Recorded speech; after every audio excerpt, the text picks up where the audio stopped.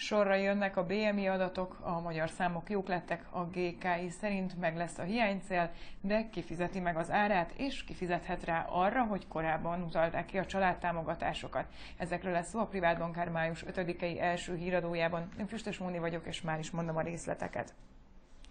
A beszerzési menedzser index áprilisban 54,6 pont volt. Ez alapján a válaszadók nagyobb hányada márciushoz képest összességében kedvezőbb folyamatokról számolt be.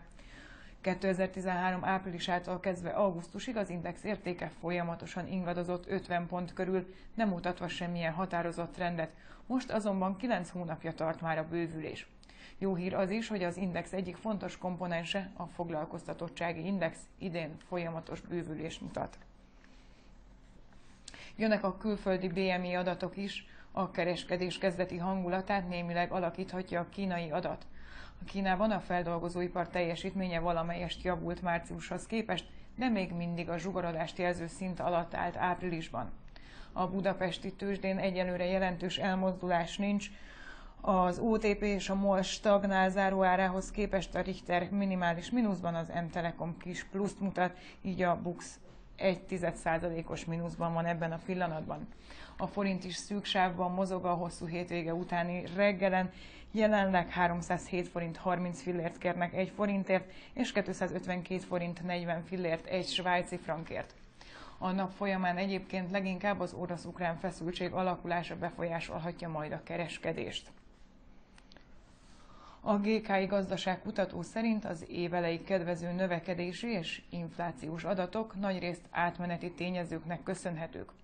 Ugyanakkor az év egészében a gazdasági növekedés valamivel dinamikusabb, az áremelkedés alacsonyabb lehet a GKI által korábban vártnál.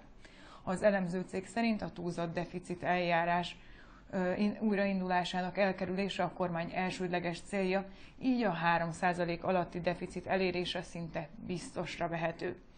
Tekintettel a még idén sorra kerülő két választásra és a kormányzat megszorítás ellenes retorikájára feltételezhető, hogy ennek terhei közvetlenül az üzleti szférát fogják érinteni, és csak ennek tovább hárítása a lakosságot. Így fogalmazott a közleményben a gazdaságkutató. Nem várt kellemetlenséggel járhat a családtámogatások kiutalásának múlt heti előrehozása.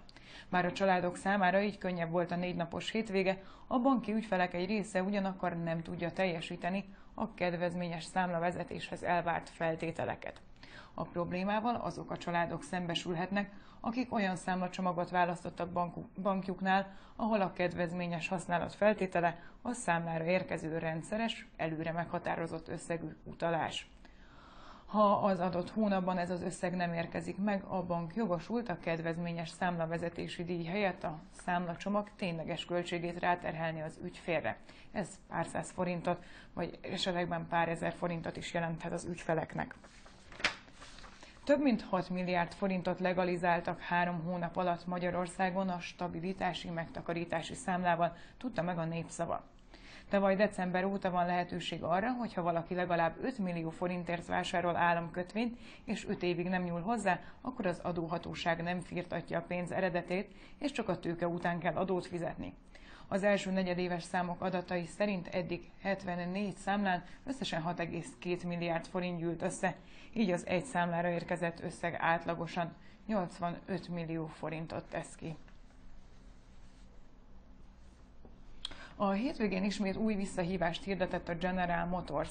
Ezúttal több mint 51 ezer tavaly március és augusztus között gyártott Buick, Chevrolet és GMC márkájú városi terepjárót hívnak visszajavításra az üzemanyagszint mérő program lehetséges hibája miatt.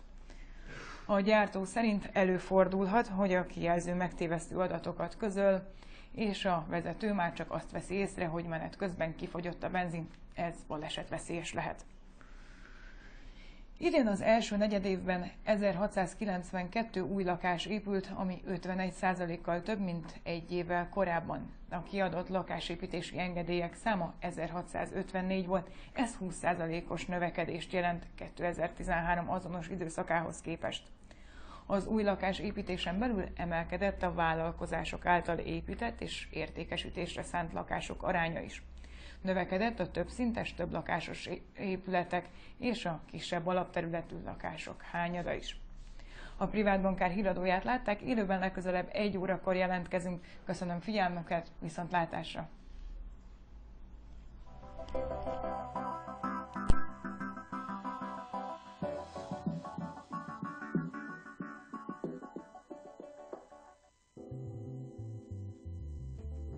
Szeretné megismerni a pénzvilág működésének alapjait? Első kézből akar értesülni a legfontosabb változásokról? Tudni szeretné, mi történik a gazdasági és pénzügyi események hátterében? Utána jártunk. A privátbankár.hu oldalai megjelenő cikkek közül egy csokorba gyűjtöttük azokat az exkluzív anyagokat, amelyek elsőként vagy kizárólag nálunk olvashatók. Mi ugyanis utána jártunk. Háttérinformációk a gazdasági és pénzügyi hírekről, tőzsdei és devizapiaci elemzések, összeállítások, ismeretterjesztő cikksorozatok üzleti alapismeretekről, állampapírokról, befektetési alapokról és az élelmiszerárak alakulásáról. Tudják, privátbankár, pénzügyek, okosan.